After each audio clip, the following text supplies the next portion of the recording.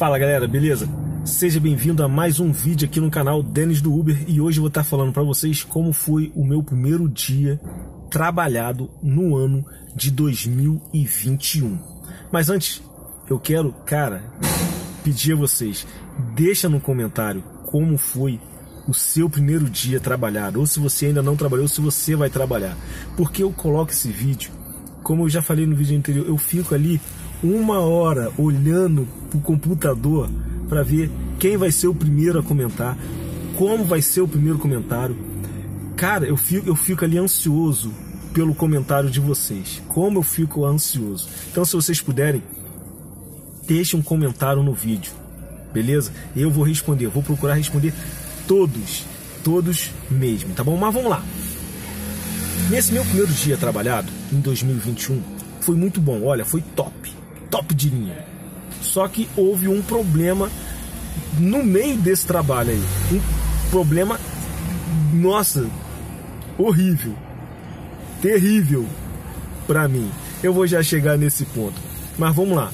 Nesse meu primeiro dia de trabalho, eu peguei um particular daqui de Bangu para o aeroporto Santos Dumont. Então nisso aí eu já cobrei 100 reais. Nesse meu primeiro dia, já 100 reais livrinho, livrinho mesmo. E deixei lá e parei ali no Santos Dumont. Tinha 35 carros, fiquei ali esperando rapidamente.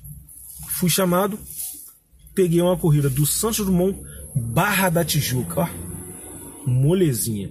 Depois parei, deixei a menina e fiquei esperando. No mesmo prédio que eu deixei a menina, eu fiquei ali esperando uns 5 minutinhos, tocou barra recreio. Falei, ô oh, delícia. Deixei o passageiro no, no recreio ali, perto, acho que é recreio mesmo, ou dentro da barra mesmo, ali no. atrás do, do CFZ ali, passa pelo CFZ do Zico ali, primeira rua esquerda lá no final. Fiquei ali, parado ali esperando. Tocou. Campo Grande. Falei, oh, beleza, hein? Peguei duas meninas, só que olha só. Não era Campo Grande, primeiro. Tinha uma parada em Santa Cruz. Ainda bem, Paz Deus é bom demais. Dizer pro. Olha só, aguarda o final, até o final do vídeo você vai entender o que eu tô falando. Peguei duas meninas dali, levei primeiro Santa Cruz, mano. Eu até achei estranho, tava o destino final Campo Grande e chegou Santa Cruz, eu não entendi. Não entendi mesmo. Aí, beleza. Olha que chuvarada que eu peguei, tá? Que chuvarada. Fui, deixei menino em Santa Cruz. Só que era uma parada. E o destino final era em Campo Grande. Poxa, que delícia, cara.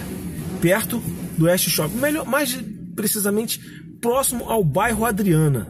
Não sei se vocês conhecem aqui. Deixa no comentário se vocês conhecem o bairro Adriana.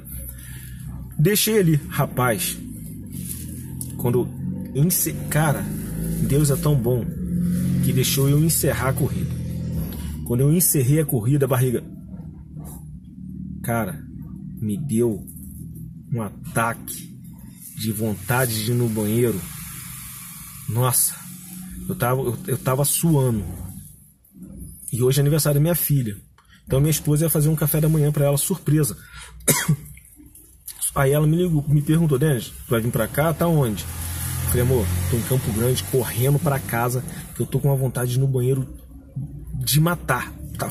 Nossa! Que doideira!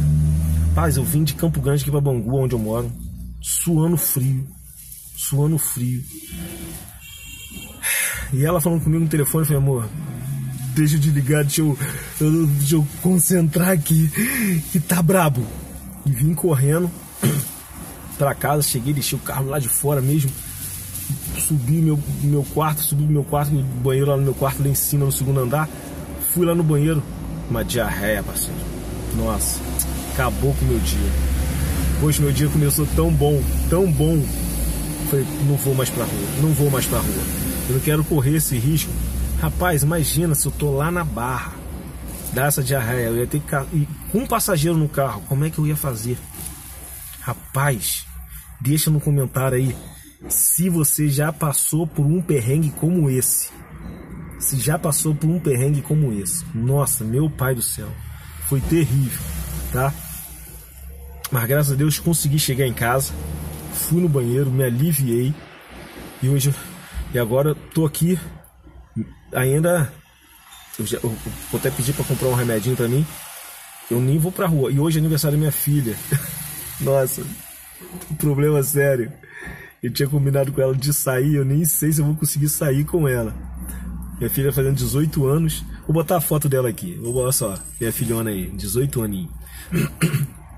Mas galera, se não fosse isso, poxa, o dia ia ser top de linha.